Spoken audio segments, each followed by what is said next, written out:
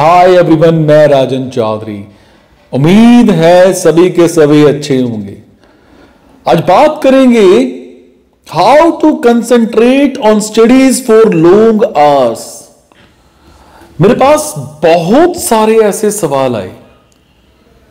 जैसे, कुछ समय बाद पढ़ाई में मन ही नहीं लगता।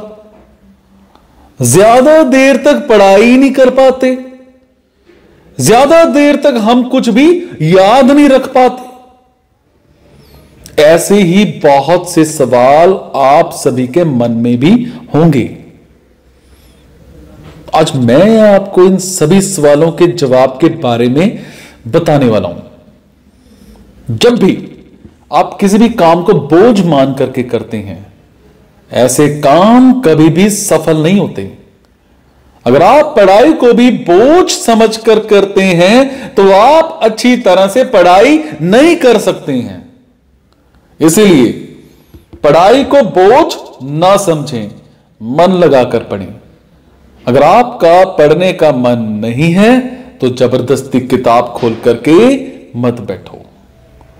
अगर आप ना चाहते हुए भी पढ़ने बैठ जाओगे, ऐसी सिचुएशन में आप ना तो कुछ याद कर पाओगे और ना ही कुछ समझ पाओगे।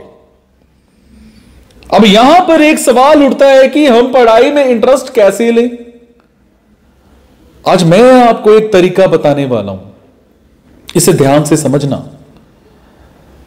अगर आप चाहते हैं कि आपका मन पढ़ाई में लगे तो एक टीचर बन जाइए।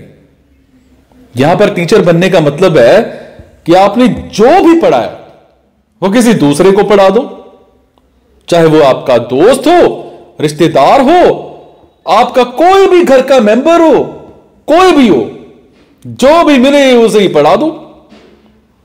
नहीं तो एक तरीका और है।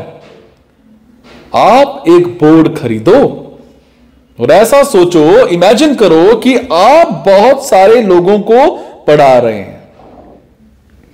मैं आपको दूसरों को पढ़ाने के लिए इसलिए कह रहा हूँ, क्योंकि जब हम पढ़ाई करते हैं, हमें लगने लगता है कि हमें सब कुछ याद हो गया।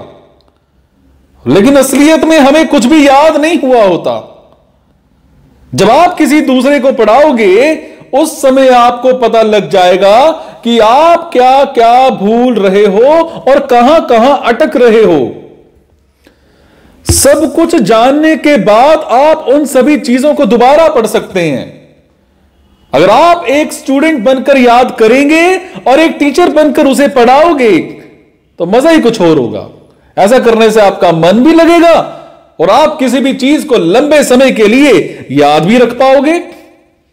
मेरी ये ट्रिक कैसी लगी? मुझे कमेंट के ज़रिए ज़रूर बताइएगा दोस्तों। आपके कमेंट से मुझे प्रेरणा मिलती है कुछ अच्छा करने की, कुछ नया करने की। Thank you so much guys मुस्कुराते रहो, मुस्कुराहट देते रहो, पढ़ते रहो और पढ़ाते रहो। Thank you so much